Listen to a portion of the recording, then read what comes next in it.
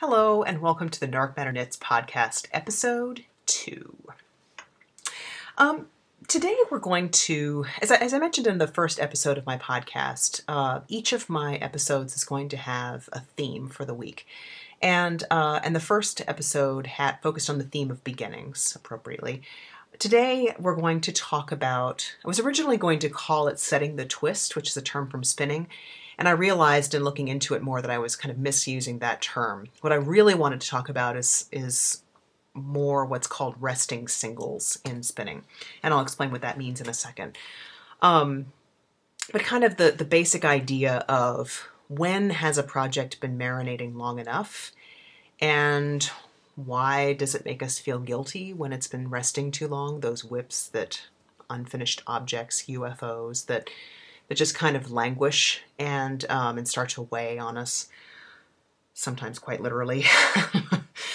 and when is it just a good idea to kind of let a project sit for a while because it just needs it needs some time to itself.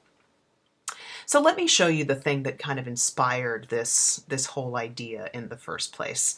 It's a uh, spinning project that is actually kind of my first major spinning project. I learned how to spin at, um, I had this amazing opportunity to take a, a week long spinning and uh, natural dyeing class at the uh, John C. Campbell Folk School in Western North Carolina, that little western tip of the state. Uh, it's an amazing place, and the woman who teaches the uh, the spinning and dyeing classes there, a woman named Martha, is um, is an excellent teacher, and um, so I learned how to spin there, and got a wheel, was really hooked on it, and um, and when I ordered the wheel, which I have a, a Kromski Minstrel because I really like the the castle style uh, double treadle sort of wheels. They just I'm, I'm, I'm a pretty tall person, so for whatever reason, those just kind of fit my uh, body shape better. And um, when I ordered the wheel, for reasons that I can no longer explain, I really don't understand why I did this. I ordered a pound, an entire pound of undyed, I don't even know what it is. I have no idea. It's wool. It comes from a sheep of some kind. Uh, and it's it's lovely. It's it's actually a nice first yarn to to spin. I'm going to hold it back here so the color's a little, yeah, it's more like the color. It's kind of an oatmeal sort of color.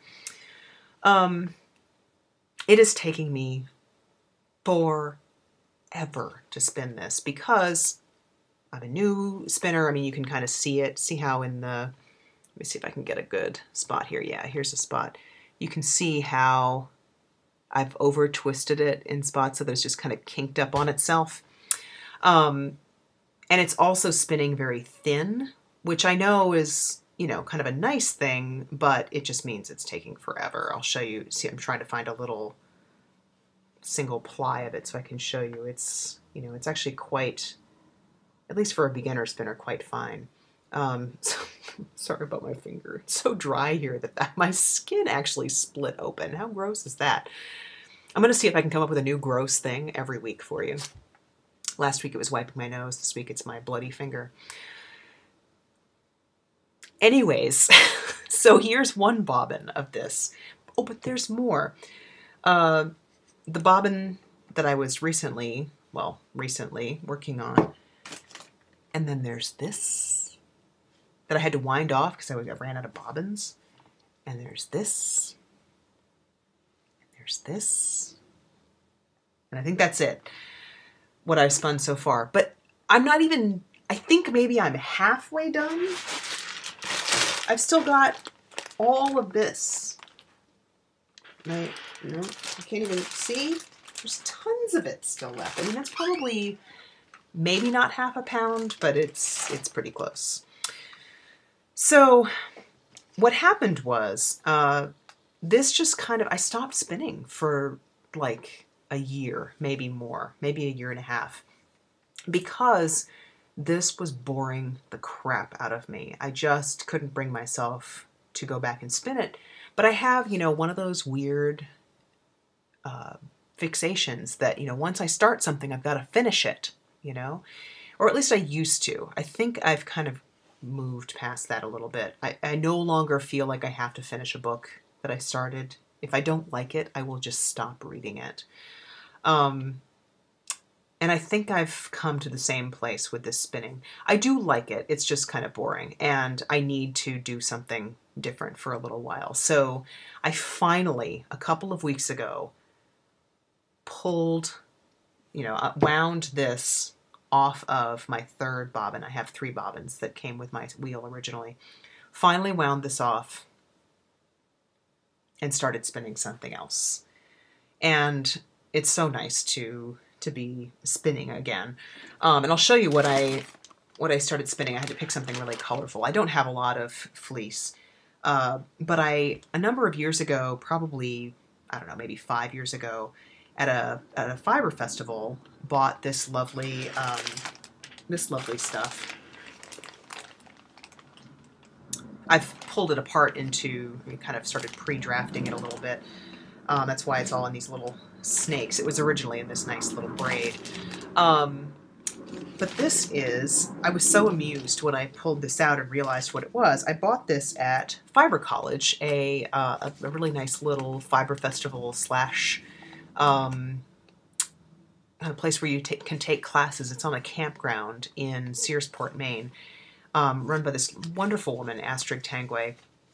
And I really would like to go back at some point. I, taught there at um, about five years ago, and at the one of the vendors um, picked this up and was so amused when I pulled the card out and realized that it's my Highland Handmaids, one of my favorite podcasts. And you know, years ago, before I had any idea who she was, I bought some of her fiber.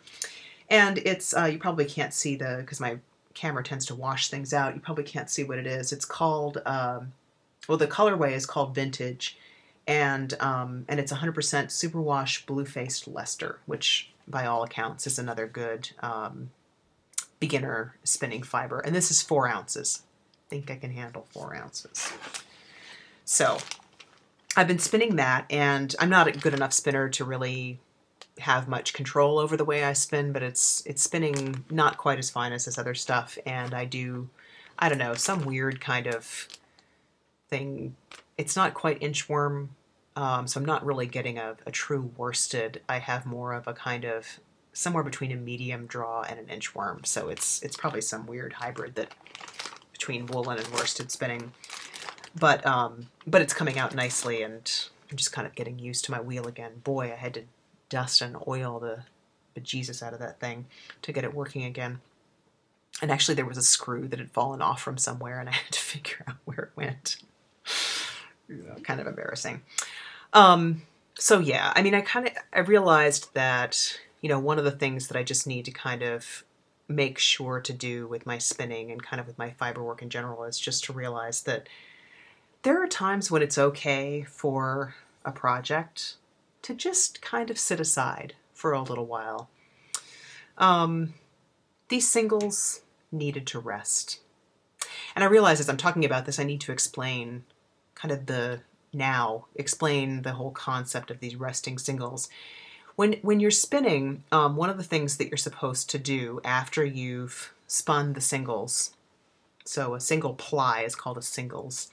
After you've spun one of these, um, spun it up into a, onto a bobbin, um, you're told not to ply these immediately, that you need to kind of let the singles rest either on the bobbin or elsewhere for a little while, uh, at least 24 hours.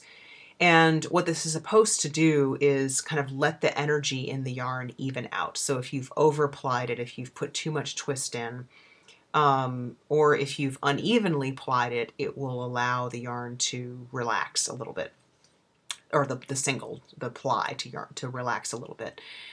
And um, and I was reading about this recently, and I just thought it was so funny when I was thinking about this. I mean, this has been sitting on this bobbin. I think this was the first bobbin that I spun of this yarn. It's this has been sitting on the bobbin for five years.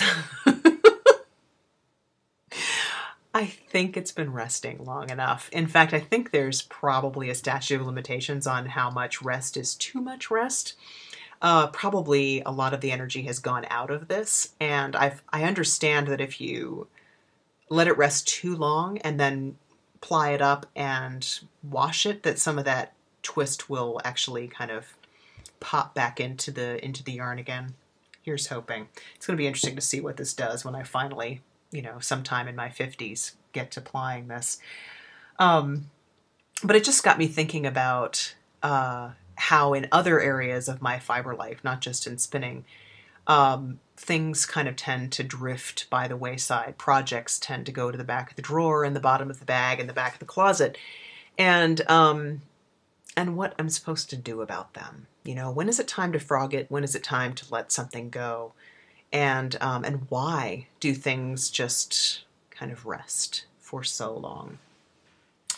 Um, so let me show you, show you another example of this. This is a a project that I've been working on again for years. I mean, well, I haven't been working on it. That's kind of my whole point. This is a, a stole. Let me see if I go back a little bit. You can kind of see the whole thing. It's a shawl that um, that I've been working on for my mom, and she watches this, so this is going to completely ruin it. So ruin the surprise for her. But I think by now, well, someday I will finish this, and maybe you know her seeing this will prompt me to do it. Uh, but basically, the idea was that my mom has wanted me to knit her a shawl for a long time, and I and I want to do it. Um, she knits herself. She's the one who taught me how to knit, but she would just like me to. She wants me to make her something. So, um, or she really especially wants a shawl, and she loves dogwood trees. So what I was trying to, what I'm trying to do here is to come up with kind of a dogwood shawl. So it'll just be a long you know, maybe 60 inch rectangular stole. And it's all in this kind of classic leaf lace sort of motif. So that's sort of the, the foliage in the background. And then what I want to do with it once I've, once I've knit up the length of it is to weave some of this stuff, this really cool Habu, um, what is it, Tsumugi silk combination. It's like a silk, I guess it's all silk. Um, but basically, you see how it kind of looks woody?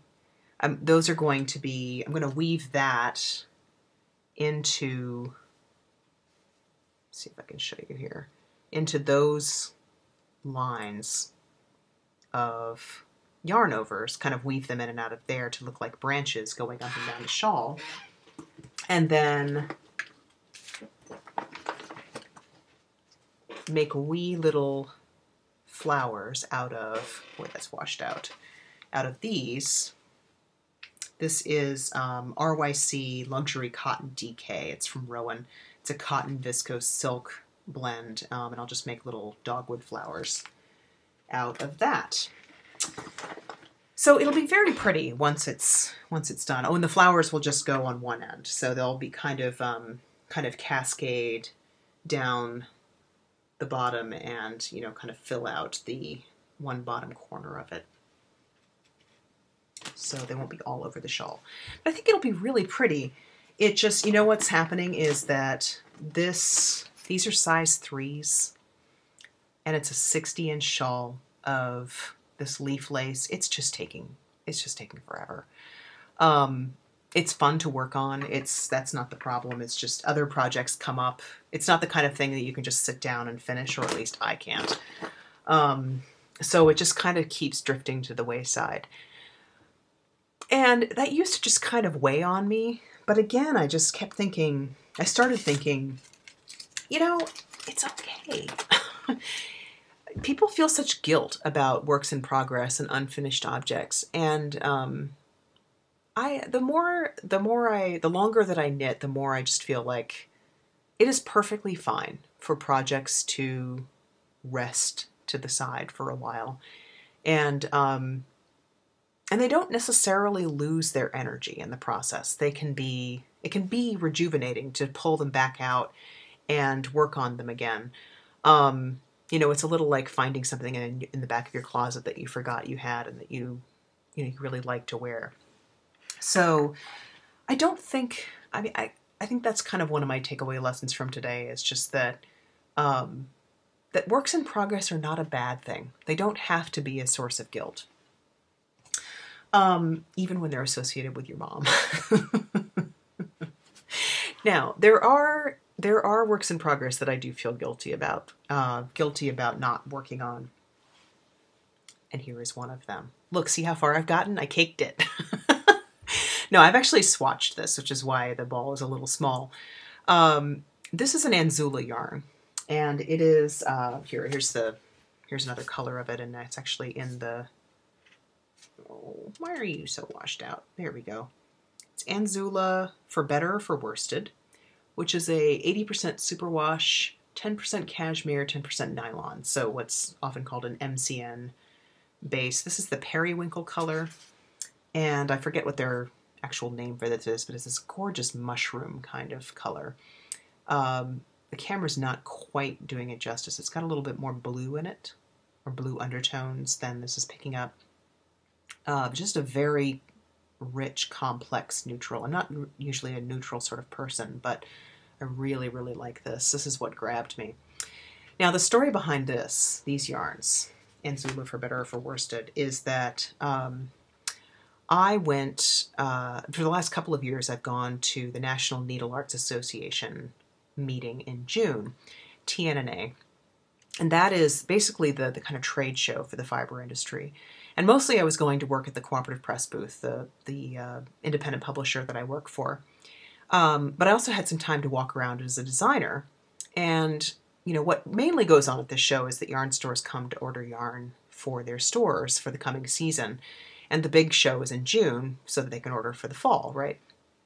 Um, but designers also walk around, and um, you know, a lot of the yarn companies are really nice about having some samples of yarn that designers can take home either to swatch with, or sometimes they'll even give you enough to work up a project if you've got something specific in mind. So I really wanted to do a sweater in this yarn. I still do, and um, and it's just I, I've been trying to figure out what what is it that is stymieing me about this yarn.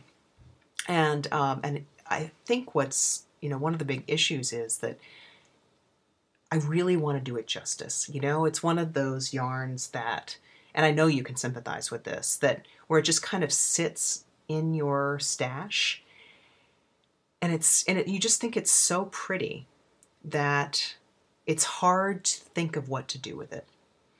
Um, so I, I, you know, I sort of feel tugged in two directions with this yarn. On the one hand, it's so pretty that I almost can't knit it, and on the other hand, they gave me a, a sweater's worth of yarn. I need to knit it up into a sample and into a pattern, and you know, get it out there. Uh, I have an idea in mind. I've swatched it. I've I've actually even started writing up the pattern. It's just a matter of you know setting aside the time to um, to get it done. So that will that will be coming up soon. Um, one last example I want to show you of things that you know perhaps marinate too long. There's just too many things to work on, aren't there? really, that's ultimately what we're talking about here. Okay, so this this is a sweater that I designed for a British knitting magazine that shall remain nameless. It is now defunct and out of business. Um, it's a lovely, well here, let me show you a, a picture of the actual garment. Um, see if I can find a picture that doesn't, uh, there we go. Okay. So I'm showing it to you in black and white because um, well, partly because that's the, I, I, photocopied it so I could make notes all over the page. Um, so I designed this sweater for the, the magazine, um, knitted up in the yarn they chose for me, which this is why I'm reknitting it. Um, it just wasn't to my taste. They chose this bubblegum pink for the, um, for the main color. And then for the, uh, for the the collar and the belt and the cuffs, which are in a contrasting bulky weight yarn, they chose this rainbow colored, oh, it's just so, so not me. So I've always wanted to reknit this in another yarn that is more to my taste. And once I got the rights back, I wrote to Malabrigo and they kindly sent me, you know, enough of their sock weight yarn to do the body. Uh, this is their um, Oh, shoot. Well, it's sock, and it is in, nope, Stone Chat is the bulky. Oh, poop, I can't find it. But it's a, a lovely clay color. And, um, and then also sent me Stone Chat for the the belt and the and the collar and so on. Um, so it's the their chunky yarn in the Stone Chat colorway. Okay, so I got the rights back to this sweater, and you know, again, wanted to knit it up in my own um, my own color color choosing, and um, got this yarn, and it's lovely, and I've been you know knitted up I've knit the body. So here's here's the body. It's all knit. I just need to tuck in the ends and sew the shoulders together. Um, I've got the sleeves done. I've knit most of the belt. Uh, just need to finish the collar and and seam it up, and it's done. And I've been trying to figure out, you know, what is it that's just keeping me from from finishing it. And I, you know what I think it is? I think it's just that I'm mad at it. Um, it's not the yarn's fault. It's not the sweater's fault. I really like the sweater and I really like the yarn.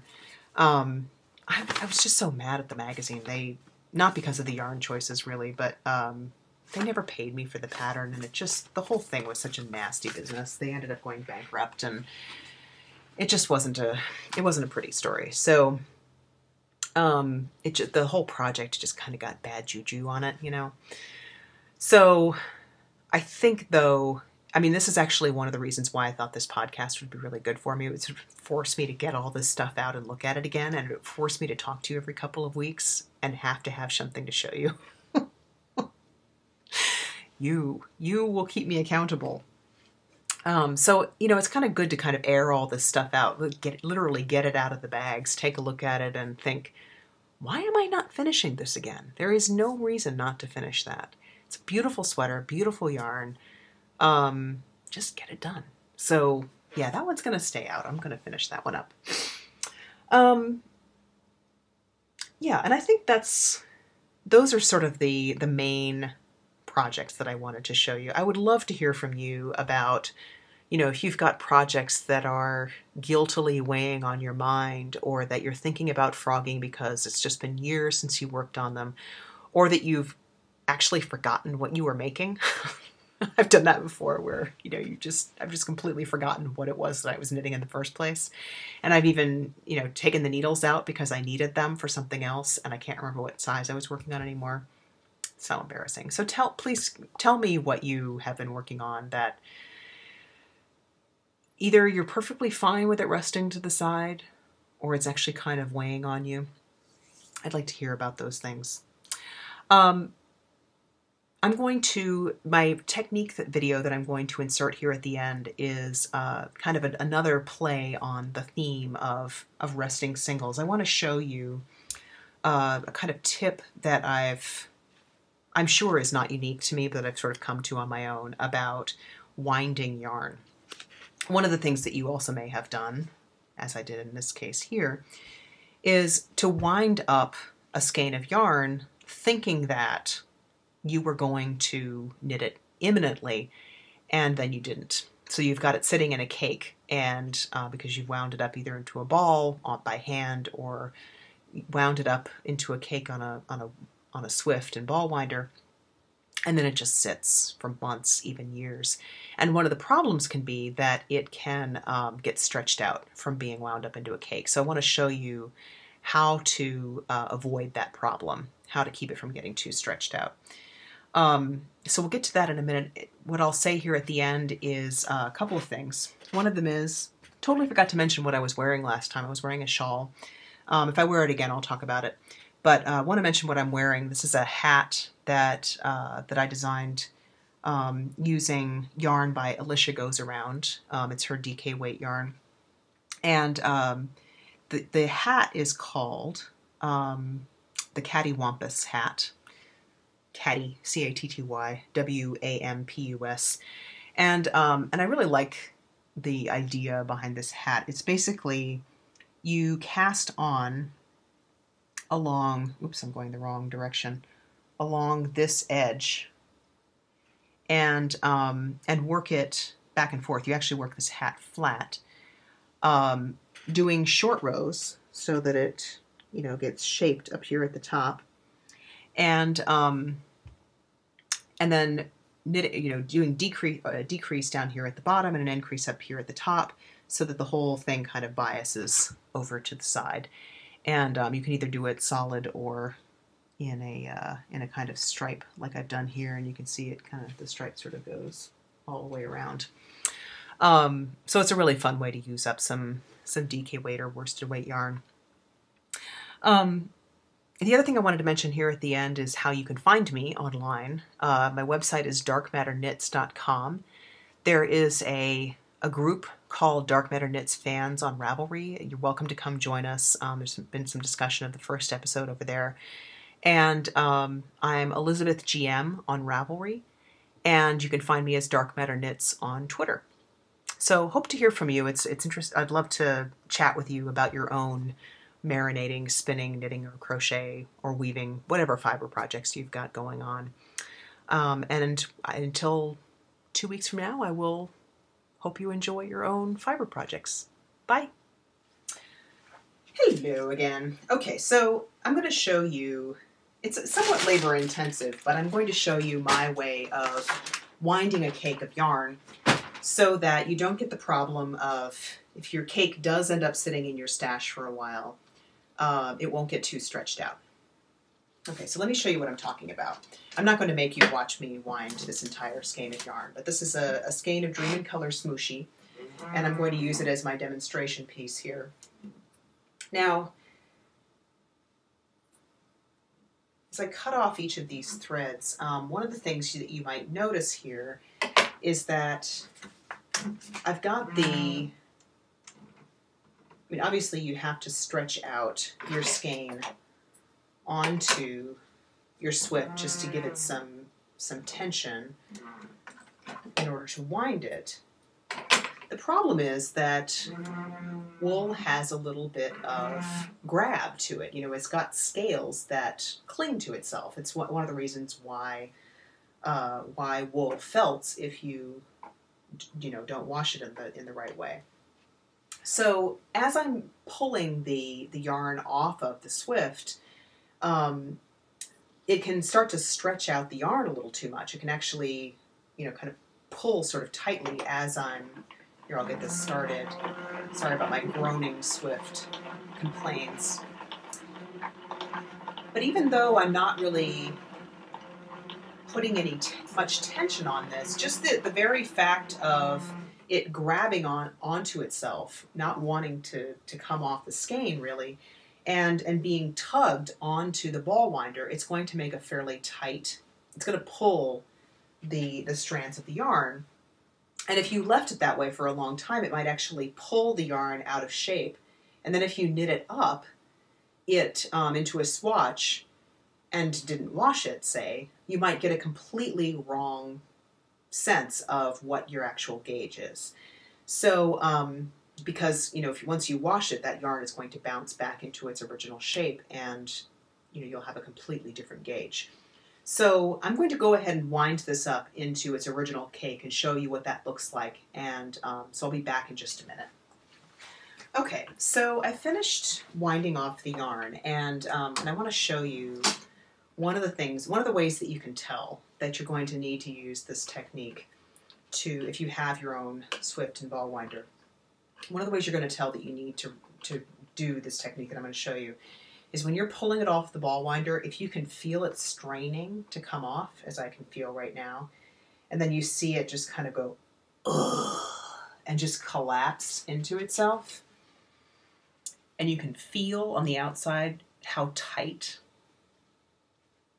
the the ball is, um, that it feels like it's straining, you know, sort of like your skin feels in the wintertime when it's too dry. It feels like it's kind of tugging against itself. This, if you leave it to its own devices, and if you leave it sitting for months or years in your stash, it's going to pull, especially if it's a very squishy yarn, like Smooshy is. That's why I picked this yarn. It has a lot of bounce to it. um, it's going to stretch the yarn out of shape. And like I said, it's going to give you lying swatches that tell you something completely different about gauge than what you're actually getting.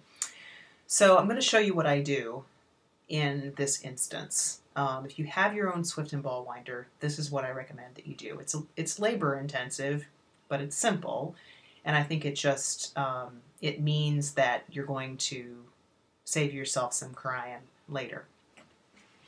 So here, this is all there is to it. I'm just going to rewind it from this first cake, and you can tell I'm actually having a hard time pulling the end out of the center. I'm going to pull, I'm pulling from the center of this center pull ball right here. I'm not going to pull from the outside. I suppose you could pull from the outside, but this is going to keep it from getting all twisted up and wobbling around. And I just put this down on the floor and wind from there. Now, if you're having this wound at a yarn shop, they're probably not going to do this for you. Um, you'll have to take it home and ball it up yourself. Uh, so really the two solutions are if you have your own Swift and ball winder, wind it twice, and I'm going to show you the effect that it has. Um, or if you are taking it home, just wind it by hand. Um, because that's going to be, if you don't have your own Swift and ball winder, just wind it by hand because you're going to end up with a a looser caked ball or just knit with it immediately. Now I'm going to, just so you have a sense of scale for, for this, I'm going to show you, this is about, what, about three and a half inches across in, uh, in diameter. All right, so let's let's take a look at what happens when we, we rewind it, and I will be back in a minute to show you. Well, actually, let me get it started and just show you what I'm talking about. Okay, so I'm just going to take this cake, either you know just set it here on the table next to me, or actually I like to put it down here on the floor, so you're not going to be able to see it down there, and then just rewind it onto the ball winder. And sometimes that initial, uh, those initial few yards are really tight in there. So I actually like to kind of pull them out a little bit first like this and then wind them so I don't replicate that super tight stuff at the beginning. And you'll know when it's time to stop. It won't feel like you're having to to strain to get it to come out this actually, because this is so smooshy, this wound really tightly. And the reason why it does that, right, is because there's so much give this way in the yarn. That's what makes it so smooshy. That it's like a rubber band. You know, it's just kind of stretching all out of shape and turning itself into sort of like a rubber band ball as you're winding it. All right, so now I've gotten to the point where I can wind from this without the yarn really pulling on itself. So I'm going to finish winding up this ball again and then I'll come back and show you what a difference it makes in terms of how stretched that yarn is and how big the ball is. Okay, so I've finished winding this a second time and you may actually be able to tell just from looking at it that this this ball is actually quite a bit bigger and plumper than the one that I originally wound. And the reason for that was that it's less of a strain for the yarn doesn't have to pull as much when it's coming out of this center pull ball as it does when it's coming off the Swift. And just to prove this to you, so if you remember, our original ball was three and a half inches wide. Um, this one, this one is almost four and a quarter. Yeah. Sorry, this is mirrored, so it's hard for me to get this right, but yeah, it's almost four and a quarter. It is four and a quarter inches across. And what you can't feel is that, you know, when I squish this, it's no longer this hard, you know, compact little mass, but it's actually got some smoosh to it. And so that means that it's the, the yarn is closer to a resting state um, as it is in the skein than it is in, you know, one of those tight little balls. So, um, so it's a better if this does end up resting in your stash for a while, this will give you a knitting from this will give you a truer gauge than if you knit from something that was wound really tightly.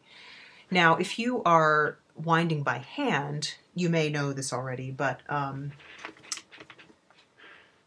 one of the, the one of the best ways to to do this by hand is to, as you're kind of, you know, starting to wind it around your fingers, try to keep things as loose as possible. Resist the impulse to to pull tightly. And I just kind of turn this to the side and constantly see how I'm wrapping around my fingers. If you constantly keep two, at least two fingers as a kind of buffer between the yarn and that you're winding and the existing ball, that will allow again the, the yarn to kind of relax and not be not be pulled too tightly as it's wound. So I just kind of keep turning it a little bit and winding it with two fingers in between to keep it from stretching out too much. So that's how you can do it by hand in a way that won't won't get it too stretched. All right, I'll see you next time.